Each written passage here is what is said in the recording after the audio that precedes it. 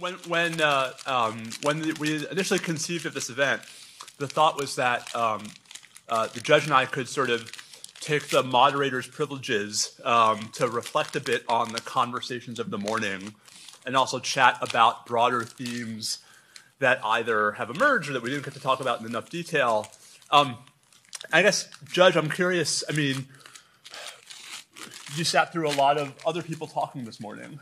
Um, and I'd love to hear sort of your reaction to what you think is, you know, different about your job as a judge today versus when you came on the bench. Those differences, good or bad, what would you change? Well, it's a great. I was thinking about it as I was listening um, to the, um, the, your panel uh, because when uh, I, I I came I came to the judiciary through uh, local government and um, working as um, chief counsel at the FAA in Washington. And um, uh, uh, I was very fortunate that I, uh, I was approved by the Senate by unanimous consent, uh, as opposed to what's going on now, where it's 49 to 51 or 49 to 50 or 50 50, and then the the vice president has to break the tie. So, um, uh, and there were no, I, I, I was nominated by uh, President Clinton, but I always described it as being uh, that I was recommended by Daniel Patrick Moynihan and then nominated by President Clinton because that's the political process.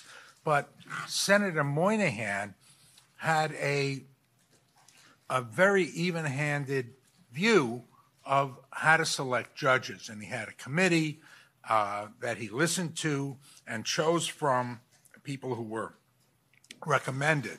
There were several people recommended for a particular judgeship. What we have now is a, a much more tr- partisan, troubling partisan arrangement where the public believes that if you were nom- if you were appointed by President Clinton, uh, you're a Clinton judge. If you were appointed by uh, President Trump, you're a Trump judge, and so forth. And I think that that uh, the problem of handling cases in that environment has become um, uh, very, very difficult. And in large courts, like mine, where we have 15 um, uh, judicial slots, plus we have many uh, senior judges, your chances of having a case um, assigned to me are not that great. And if you file a case in the Eastern District of New York, it is, you know, likely since there are at least 25 judges at any given moment, uh, there's a what a four percent chance that you're going to get Garaufis, but the public has this perception that if the case goes to to me, I'm a Clinton judge, and I think that that's it's unfortunate for the for the country because it creates a false perception about how judges are selected to handle cases and uh, and whether those judges have a preconceived notion about the cases they handle. I have hundreds and hundreds of cases, civil cases, at any one moment.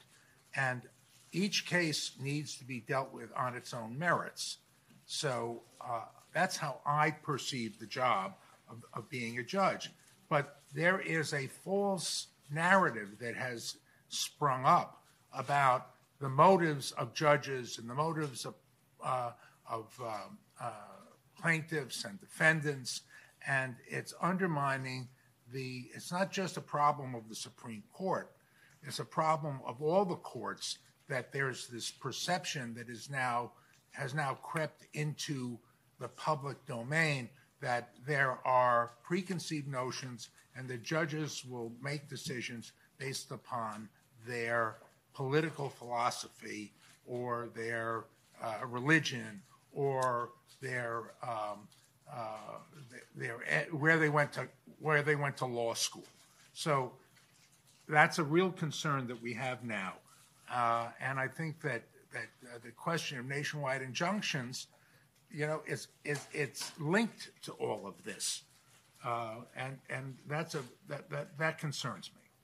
So I, guess uh, at the risk of, of pushing back gently, um, it does seem to me that although I can think of, and I'm sure you can think of, a large, large, large number of judges for whom that appellation is unfair. Um, there are at least more than zero federal judges in the country today who seem to um, be somewhat predictable in their rulings based upon broad ideological generalizations, who certainly at least parties seem to expect to be predictable based on filing patterns.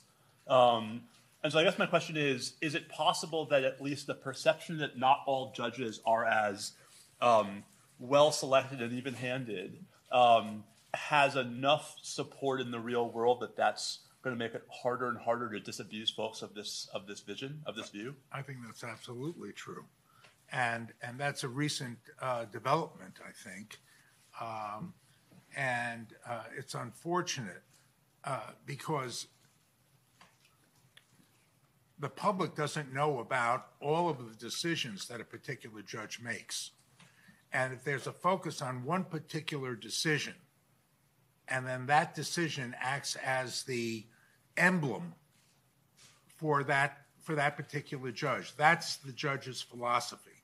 Uh, in most cases, it's a misnomer, but what's happening now is that uh, because of the way judges have been selected recently, and because of the way Congress has handled the the uh, confirmation process, there's a particular uh, tendency to to conflate uh, a, a, judge's um, a judge's experience, whether it's as a prosecutor, as a state judge, uh, as a uh, public official in a state uh, with the judge's um, preferences on how to judge cases.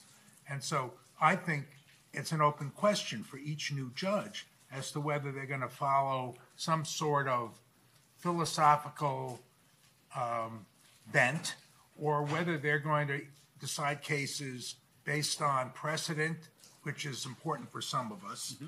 uh, and and um, and the facts of the case, and and the, the the latter is the way to do it because it's the only fair way to do it. But there are claims that, that some judges, uh, you know, are there to to push an agenda, and which is unfortunate for the you know the thousand federal judges, you know, who who work very hard every day to try to get it right. So I mean, I, am a little bit sort of biased myself in this respect.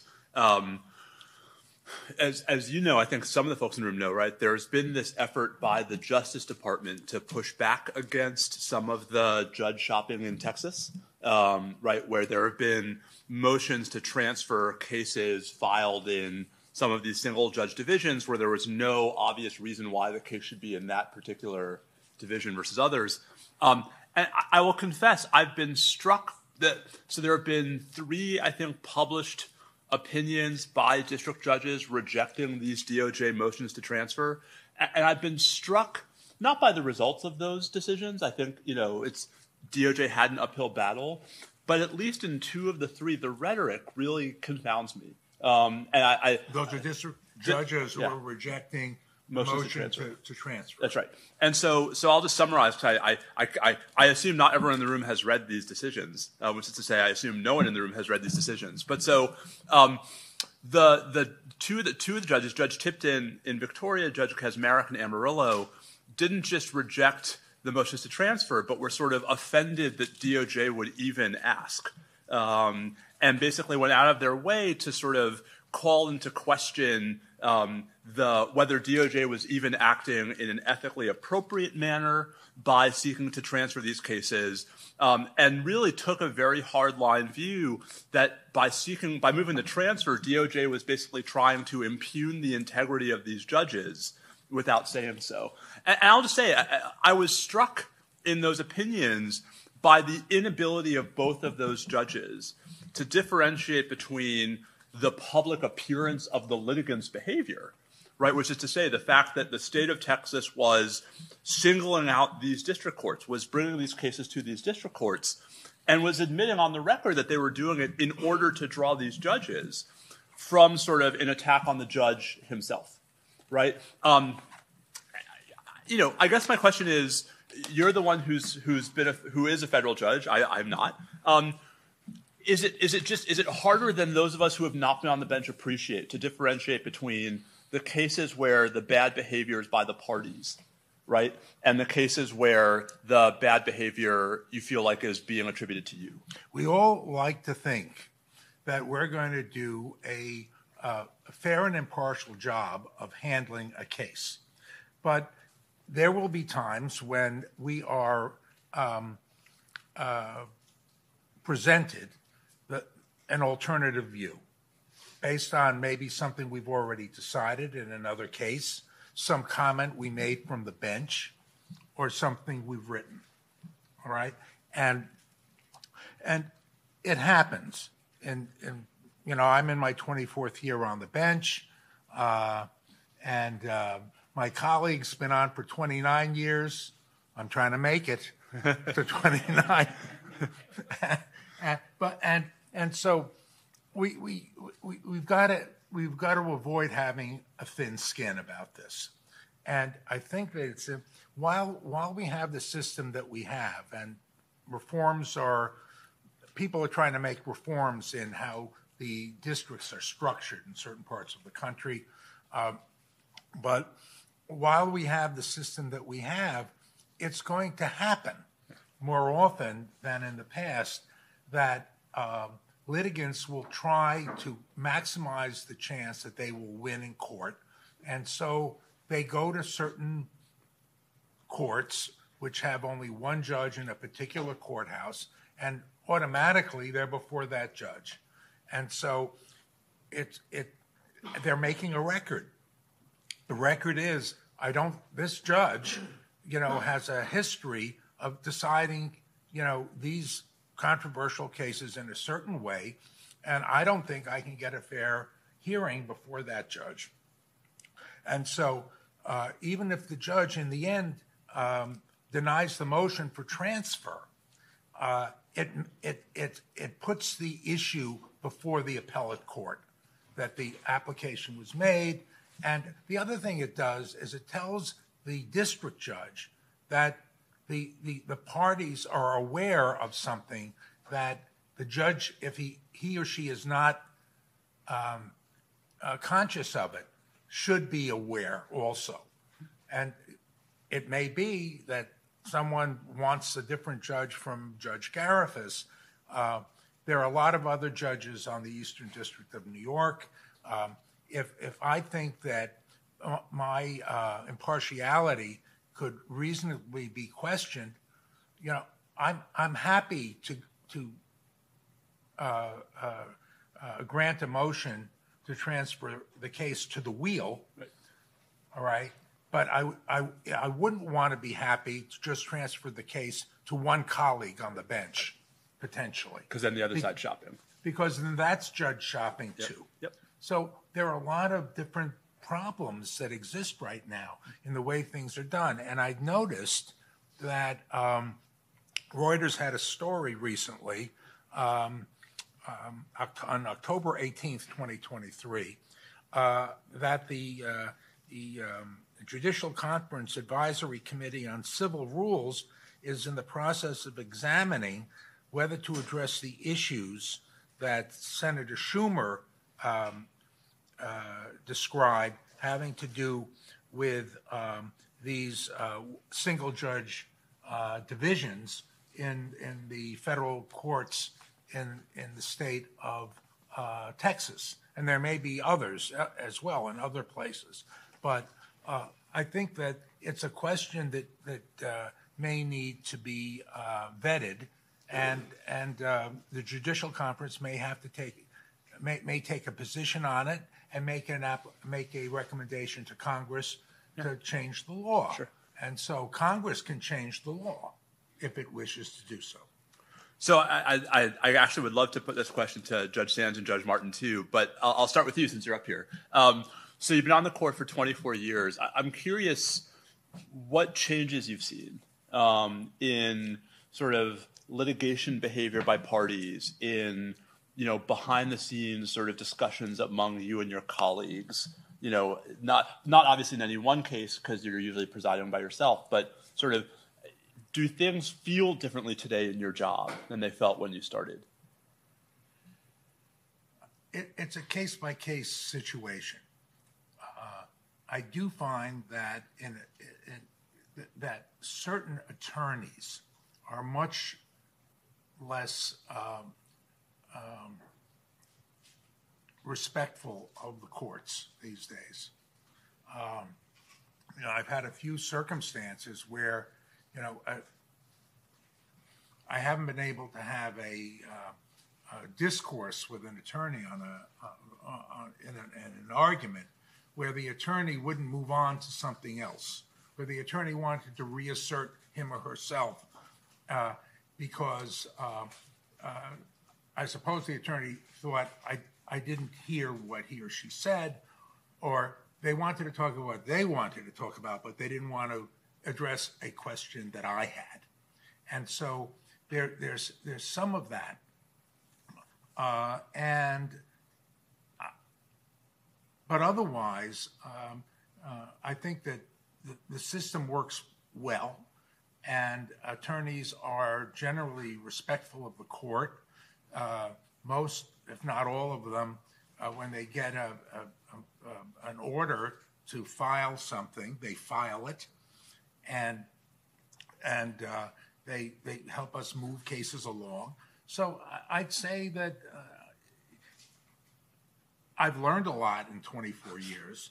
But one of the things I've learned is that at least in our court in the Eastern District of New York and in the other federal courts in in uh, the, in the Southern District of New York uh, and other courts where I've been a visiting judge, which I have I've been a visiting judge in the Middle District of Alabama. I've been a visiting judge in the District of uh, New Mexico and also in the in Eastern District of Louisiana. That that the the the advocates uh, do a very creditable job of adhering to the proper decorum and providing the court with the kinds of uh, paperwork and um, advocacy that is helpful to the court. That's great. Um, so the, the, the animating principle for today was nationwide injunctions, and so I guess I want uh, I think you're probably the only person in this room who's issued one, um, unless I, I, think Judge Sands. Right? We, I, I, don't know if there was one that you could think of. Yeah. Um, so I guess I'm, I'm, just curious. You know, um, back when you had cases, especially during the Trump administration, where you were asked to issue that kind of relief, I don't know if nationwide injunctions had become such a boogeyman yet in in discourse. Um, I guess I'm curious. You know, can you only, walk? Yeah. Only, only uh, the only problem I had was with with some of the remarks that were made from the podium by um, Attorney General Sessions, who who uh, criticized my my one of my decisions, claiming that it whatever he claimed. I, I, don't want to repeat his claim because it wasn't true, but um, uh, you know he was very um, uh, critical, and which is his right. He, you know, he's in the he was a uh, in the executive branch. He was the attorney general. He wanted to take issue with something. The place to take issue with it is in the appellate court, you know, and that's the most respectful way to take issue of it, with it. But um, but since he, he, he basically voted for me to be a judge, uh, I, I'm, I'm not going to hold it against him. um, this, I think this was not long after he criticized, I think, your colleague on the District of Hawaii. Um, and, well, and I thought that was the, the, the, most unfortunate thing anyone could say. The idea, t- tell everybody what he said. I'm trying to remember all the detail. I mean, well, I was I was fixated on his lack of geographical knowledge, but um, I must be misremembering. Somebody on an island. Yes, somewhere. that one. Right. He no, said so somebody yeah. on an island somewhere yeah. did something. Yes. And and I said that was it. I said, you know, that's a state. it's a state, and it's a state that I love to visit. So I, I took issue with the, the attitude that it was just an island somewhere. Right, right. Um, well, and indeed, just that, that, that Article Three district judges in Hawaii somehow have less of an Article Three That's commission right. than, That's than right. Um, he also, I think, at one point referred to it as the island of Hawaii, which, if you know Hawaii, the district court sits on Oahu, not on Hawaii. But that's that's me being pedantic. Um, so I, I want to I want to give folks in the audience a chance to ask questions too. But I guess I, I have one more, I guess, big question to you for now, which is um, a similar question to what I asked Judge Sands on our panel. Um, you see this from a very from a unique side. You, all these issues, right? The sort of the role of the courts, the the proliferation of these kinds of injunctions. You see from your perspective on on the bench. Um, what are we getting wrong? What are we not doing well? What, and by we, I mean, you know, those of us who are out in the public talking about these issues on a more regular basis, those of us who are teaching students about these issues, if you could knock some sense into us, where would you start? Well, I don't know that I would start with you. I, I would start with, with kids going to junior high school. I taught in a junior high school, and I taught in a high school. Uh, well, kindergarten, I wouldn't go there. But, but, but in the middle school, in the high school, and in college, the idea of teaching civics has, has, has disappeared, I think. And, and uh, young people are not, do not, many of them do not understand what the role of, of, of government writ large and the courts in particular really is. And so they're listening, they're, they're, they're, they're checking their Twitter feeds, they're, they're, uh, they're on Facebook, um, they're, and they're not, and they don't have the foundation to be critical about what they hear and read. And I think that makes it so much easier for advocates, and I'm using that term in the, the, the most broadest sense, uh, uh, that uh, people with a with- a, a, a an agenda, if you will, that they, they're those people are taking advantage of the lack of uh, foundation on how government works uh, to to shape public opinion. And so that's a real big problem. I taught and I taught um, uh, social studies in a junior high school, and we we were teaching people about the you know the separation of powers.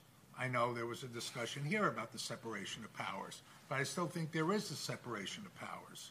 Uh, it- whether it's writ- written in the Constitution or it's just done, okay? And and many people really don't.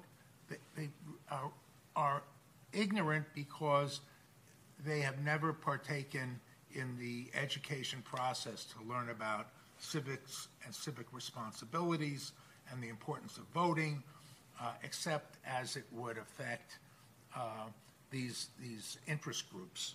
So I'm not so worried about college professors or law professors uh, or, or law school uh, or the law schools. I'm concerned about uh, the place where people get their initial um, uh, contact with, with public education, private education, and uh, learn about the rule of law. Seems like a good place to start. Um, so we have a few minutes, I think, for questions, comments, thoughts from the audience. Judge Martin, you've been very quiet today. Well, you know, I, I, I don't know if it's on. but we do. Great. I, I um, just want, wanted to take a minute to, you know, there, there are a lot of things that detract from the public uh, perception of the courts that I worry about all the time. Uh, but I have to say, you know, uh, you know, we've got some people here. I can't think of anything else you all could do to uh, tr- try to get the truth out about the efforts that um, you know most judges make to give people a fair hearing. Uh, and and Professor Vladeck, uh, you know, I loved your book. We're going to talk about your book later today. uh, for those of you who can, can come. Four thirty. Um, but I think it, it tells the story uh, better than I've seen it anywhere else. I, I feel like I kind of lived uh, part of that story about you know how you know some of the, these new practices that are being introduced are, are undermining uh, the public perception of the courts, and, and maybe rightfully so. so um, I, I think you know there are a lot of things that can be done, but I think for now, I'd like to just recognize what you all are doing, Judge Garaufis, Judge Sands, uh, Prof- Professor Vladeck, to, to remind people of the uh, historic importance of the courts and the role that they continue to play most places. You know, I, have got, you know, so many friends that are judges, and they're going to the sixth grade civics classes yeah. trying to uh, educate children about what role the courts are, are meant to play and. Uh, but that's, you know, it's a, there are a lot of people to educate. Can, I just uh, mention that there's a program in the uh, Second Circuit which was um, established by uh, uh, the late Chief Judge Bob Katzmann on civic education. And it's an ongoing project it, bringing in high school students and others into the courthouse, teaching them a, uh, a lesson about the, the, role of the courts and, and, other parts of the government. Um, and that needs to have a much broader um, distribution of activities beyond just you know the courthouse in, in Manhattan and and uh, uh, but it's a start and it's you know Judge Katzmann recognized that there is a there's a deficit here, and that we need to fill the deficit and and bring back the the the, the youth to have an understanding of um, of, of how the the uh, uh, public how the government works, how the courts work, what the purpose of all of this is, and um, Fortunately, it's been going very well, but it needs to be augmented. I'll just say, I mean, and then I want, to get to Jim's question, but I'll say it seems like you might you might think you're hearing two conflicting ideas, right, from everything that's been said this morning. One about how problematic and troubling, right, things are in various places in the courts, and one about how important the courts are. Um, I, I guess this to me is actually a circle that can be squared, um, but we don't spend enough time talking about squaring the circle, which is um, two things can be true, right? Our system can be set up in a way where, perhaps more so than any other democracy, we depend upon a robust and um, well regarded judiciary, right, to serve as a check against the tyranny of the majority. But that partly to ensure that that's possible, the sort of the slide in public confidence in the courts and the erosion of public trust in the courts is actually very dangerous, um, right? Because even though for those who are frustrated by our courts today, right, for those who see um, uh, bad, from their perspective, decisions coming out of the courts, maybe weaker courts sound better to us, right? But actually, I think the the tricky part is persuading and educating folks about why, in the long term, we actually need courts, um, even if not especially when they do things with which we disagree. But Jim's probably going to yell at me now. So, Jim. Oh, the, the, um, uh, there's a mic coming for you. There's, uh, there's been a lot of talk about Congress, so let me ask magical, gauge all of us engage a little magical thinking. What if Congress did pass uh, some sort of Norris-LaGuardia sort of act, yeah. saying you know, you can issue an injunction here, but you can't there, and all that. But the congressional act, or even call me even crazier, they passed a law that said the Supreme Court should have like a rule of ethics, right? Um, what do you think the chances are that the courts would obey it? So, I mean, I, I, I think one of the one of the many many things that I think was said on the on the last panel that I very much agree with. You know, Noah Rosenblum was talking about how in those prior moments in American history in which the political well, in which Congress and the executive branch exerted leverage over the court, um, much of the leverage that was exerted was not direct, right? Much of it was the threat of further incursions, further inroads, further restrictions if the court didn't shape up, right? If the court didn't align, conform its behavior to whatever the loose expectation was. And so I guess, you know, Jim, my, my response to you is um, part of this, part of the conditions that it will be necessary to make any meaningful congressional reforms effective is the specter that if the court ignores them, if the court strikes them down, the next generation of reforms will be even more aggressive right? And so this is where I think, I mean, I'll just say, and, I'm just speaking for myself here, I, I, think what is unique about the moment we are in, and, and I think Professor Murray and I will talk about this a bit this afternoon. Um, to me, what makes the current moment unique is actually not the composition of the Supreme Court. Um, it's not the radicalism, to me, of some of its decisions. Um, it's the lack of accountability um, right? That we've we've had a six-three supermajority on the court before. We've had a court that was, you know, hostile to any number of progressive ideals in the past. We've had a court that was not especially wedded to precedent at various points in the past. What makes this moment unique to me is in all those prior moments, the court was nevertheless receptive if and when there was sustained, coordinated pushback by the democratically elected branches. Um, whether you want to talk, whether we're talking about the early 19th century, Reconstruction, um, the turn of the 20th century, the 1930s, and the ethics. I mean, Jim, you mentioned you mentioned the ethics piece of this. What I what strikes me about the ethics point is that this is a classic example of unaccountability, right? That you know we might not all agree on what the ethics rules for the justices ought to be. We might not even agree on who's best situated to adopt them. Um, but the notion that there just should therefore be no rules that no one can enforce against anybody um, doesn't really follow to me as a conclusion. And yet here we are. Um, when Justice Alito says to the Wall Street Journal, as he did in July, I, I couldn't believe this quote when he said, um, you know, this, this, may be an un- this may be a controversial position, he said, um, but I don't believe any provision in the Constitution gives Congress the power to regulate the court, period.